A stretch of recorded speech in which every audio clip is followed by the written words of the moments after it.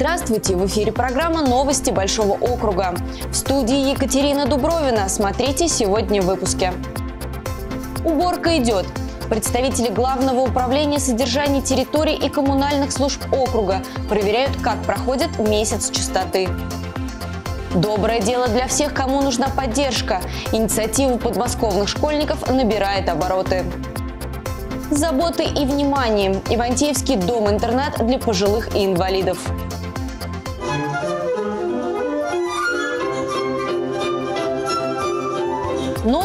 Имена в музыкальном колледже имени Прокофьева. Стипендиаты благотворительного фонда доказали свое мастерство. Об этих и других новостях прямо сейчас.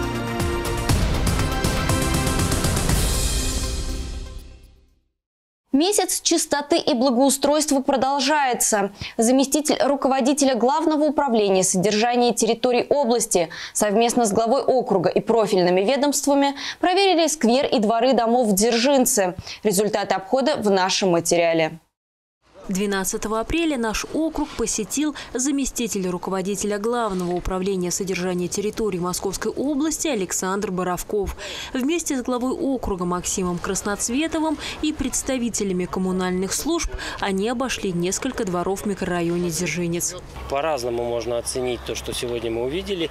Э, есть дворы, которые находятся ну, практически в идеальном состоянии, есть дворы, которые действительно требуют э, еще э, достаточно много много пристального внимания. Апрель – месяц благоустройства. Каждый двор в округе убирают коммунальные службы. Это и управляющие компании, и Пушгархоз. Зима выдалась сложной, с перепадами температур. Кое-где пострадал асфальт. Активно выполняется ямочный ремонт. Очень много внимания выделяем не только дворовым территориям, но и дорогам, тротуарам. А, я думаю, что в установленные сроки и все хозяйствующие субъекты, а, а таких у нас очень много, много, выполнят все необходимые работы. Убрать старую листву, мусор, подкрасить урны, убрать смет с парковочных мест. Работа идет активно. Александр Боровков проверил в целом содержание территории и особое внимание обратил на детские площадки. Почти везде стали использовать оплетки на качелях для удобства детей. Не остался незамеченным и самодельный огород. Его разбила бабушка и в целом, если он не мешает остальным жильцам и выглядит как элемент благоустройства, то его можно оставить. Территория находится в удовлетворительном состоянии. Видно, что люди работают, техника работает. Месячник благоустройства, в принципе, проходит в своем ключе. Вот. Особых нареканий по содержанию территории у него не было. Да, были моменты, смет на бульваре не убран, где-то тротуар был поврежден. В принципе, ответственные лица замечания получили. До конца апреля есть еще время исправить недочеты. Месячник благоустройства продлится до мая. К наведению порядка приглашаются на субботники и жильцы. Вместе сделать город чище можно быстрее. Анастасия Спирина, Юрий Добрунов, Владимир Парфенов, Яков Глейзер. Новости Большого округа. На портале «Добродел» проходит сбор предложений по включению дорог в план ремонта на 2024 год. Голосование пройдет в два этапа. Первый – сбор предложений с 1 апреля по 31 мая и затем голосование с 1 июля по 31 августа.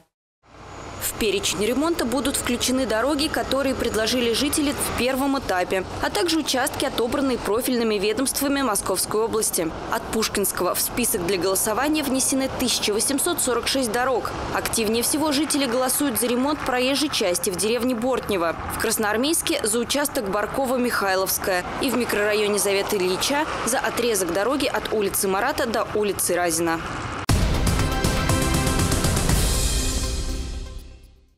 Прошел год с того момента, как губернатор Андрей Воробьев поддержал инициативу подмосковных школьников организовать доброе дело – сбор гумпомощи жителям Донбасса и воинам спецоперации. Сейчас в Подмосковье работают уже 122 точки, куда любой желающий может принести необходимые продукты и вещи. Сколько тонн гумпомощи собрали и какие посылки растрогали волонтеров. В одном из пунктов сбора в Ивантеевке побывала наша съемочная группа.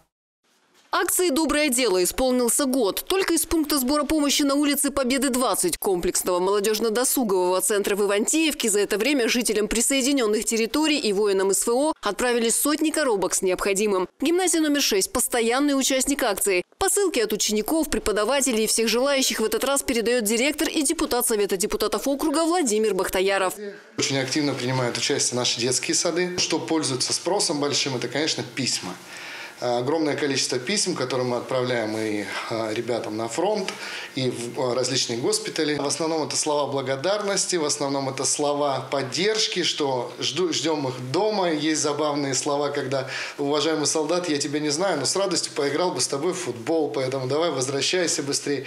Люди приносят разное – консервы, тушенку, макароны, продукты быстрого приготовления, чай, кофе, печенье, конечно, одежду и то, что им кажется важным. Необычно, когда принесли талисманы. Мы не ожидали, но люди принесли талисманы, мы их отправили и также получили от солдат очень теплые послания. Они сказали о том, что они их оберегают, греют, и они всегда их носят с собой. А что, какого рода талисманы? А ребята плели сами какие-то фенечки. Вся помощь поступает в региональный распределительный центр волонтеры Подмосковья, а затем адресно доставляется жителям Донбасса и участникам специальной военной операции. Часть посылок передают семьям мобилизованных. Напомню, что акцию придумали подмосковные школьники и попросили губернатора Андрея Воробьева поддержать инициативу. За год в Подмосковье собрали почти 4 тонны гуманитарной помощи. Все-таки это добрые дела, это помогает э, нашей стране, помогает людям. Просто зашла в магазин, к чему руки потянулись, то и принесла. Этот пункт сбора работает ежедневно с 12 до 16. Подробную информацию, в том числе и о других точках в округе, можно узнать в социальных сетях, на страничках молодежно-досугового центра «Точка притяжения» и отдела по работе с молодежью. Жанна Лавяникова, Сергей Денисов, Мария Головачева, Анна Белова. Новости Большого округа.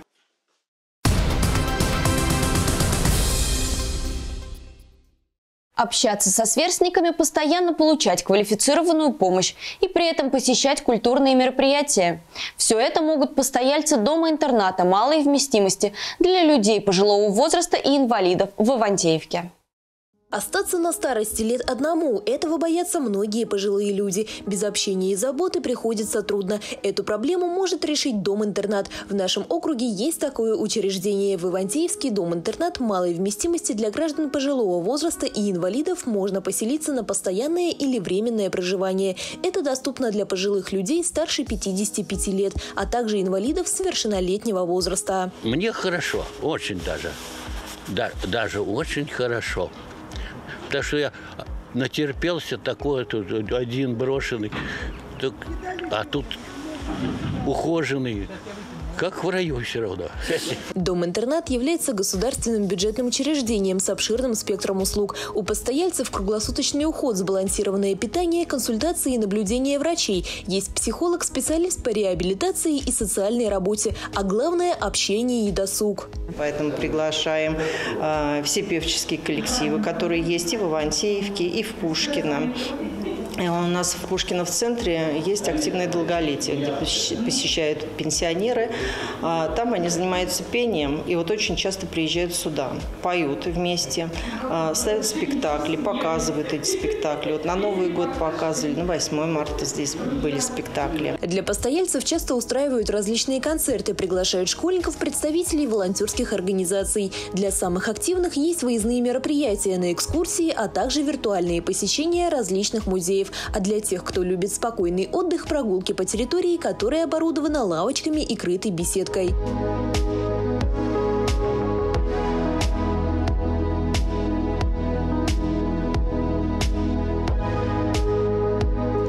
Доме-интернате могут проживать жители Московской области. Они оформляются через МФЦ и согласно индивидуальной программе предоставления услуг. На сегодняшний день в учреждении есть пять свободных мест и один коммерческий номер. Подробности можно узнать у представителей комплексного центра социального обслуживания и реабилитации «Пушкинский». Мария Лихобабенко, Яков Глейзер. Новости Большого округа.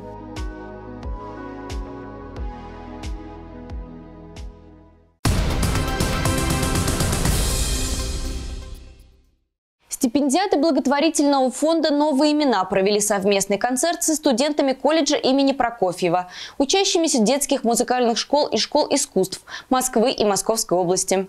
Каждый музыкант показал свой индивидуальный подход к исполнению той или иной композиции.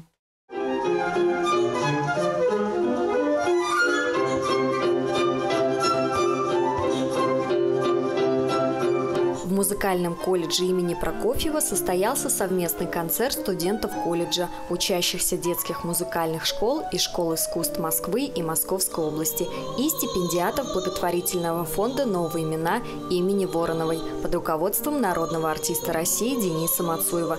По традиции, новые имена в начале каждого мероприятия зажигают свечу как символ очага новых имен. А в прошлом году у фонда «Новые имена» стартовал новый проект. «Филармония новых имен» называется занимается. А он заключается в том, что из Москвы в регион направляется группа стипендиатов, и на месте проходит серия концертов, э, где совместно играют и стипендиаты из Москвы, и стипендиаты из региона, и просто одаренные дети региона. Мы встречались с Министерством культуры и туризма Московской области, они с интересом встретили этот проект, и вот сегодня первый концерт проекта. На концерте звучали произведения на фортепиано, струнных, духовых, народных инструментах и других. Также в концерте принимала участие Софья Бурцева из Пушкина, стипендиат фонда «Новые имена», победитель губернаторской программы «Одаренные дети Подмосковья», призер арктических дельфийских игр. Она играла на скрипке.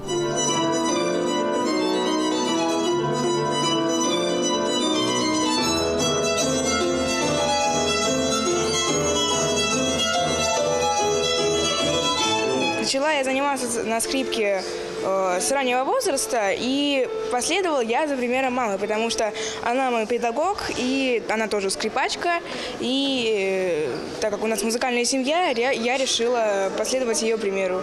Стипендиаты фонда «Новые имена» – это лауреаты престижных конкурсов.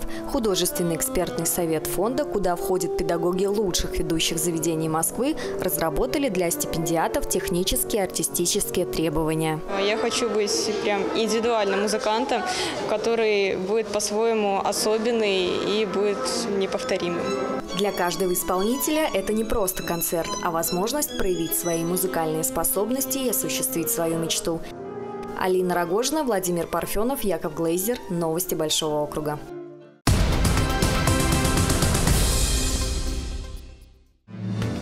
На смену майским температурам в регион возвращается апрельская погода. В пятницу в округе переменная облачность и всего до плюс 8. Ночью возможны заморозки до минус 1. Ветер северо-восточный до 6 метров в секунду.